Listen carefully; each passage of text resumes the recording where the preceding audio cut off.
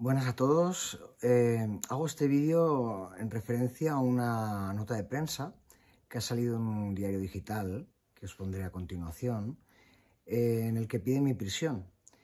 Y les quiero enviar un mensaje a todo el mundo en general. Si os pensáis que voy a dejar de apoyar a un juez justo, honrado, que está en prisión de forma ilegal por denunciar un chalet ilegal en Talavera de la Reina, sin sentencia y sin juicio previo, eh, lo lleváis claro.